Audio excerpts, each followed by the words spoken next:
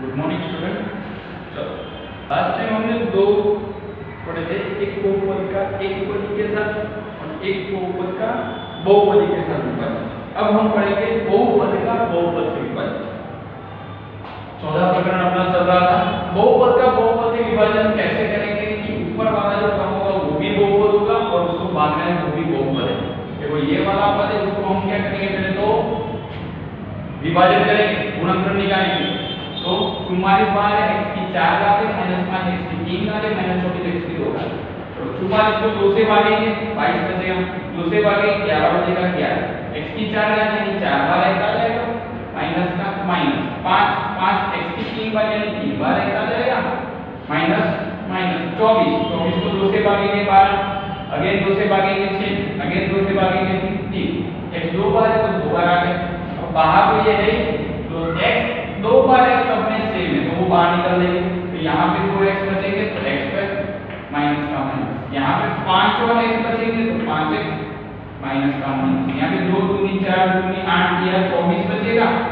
Minus इसका हम करेंगे विभाजन. ओके गुणनखंड निकालेंगे तो ये वैसे के वैसे x पे दो ऐसी वैल्यू लेंगे जिसका जोड़ पाँच आए और गुणन चौबीस आए.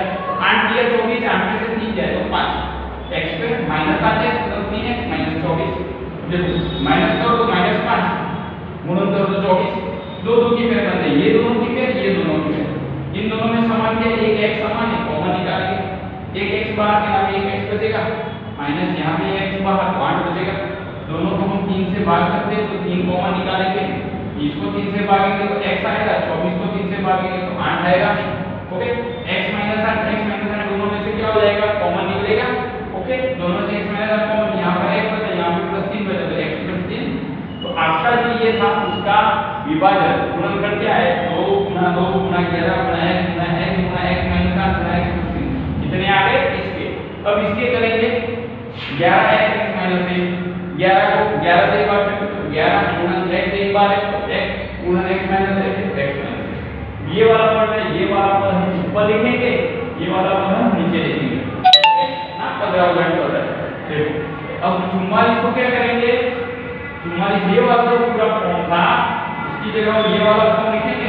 तो पूरी ये वैल्यू मैंने ऊपर लिख दी इस जगह ग्यारह एक्स एक्स मिलेगा उसकी जगह ये वाली हो लिखी मैंने यहाँ पर लिख दी। अब कट करेंगे ऊपर नीचे ग्यारह ग्यारह ये कट हो जाएगा। एक एक्स कट हो जाएगा।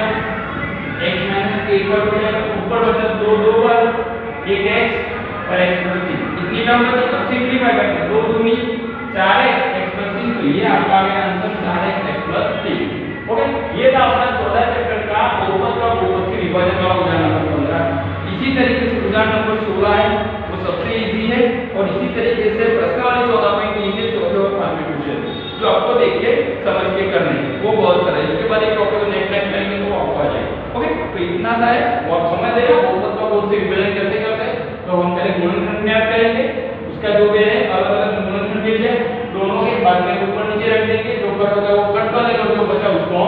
फायटर तो आपला आन्सर आहे. ओके?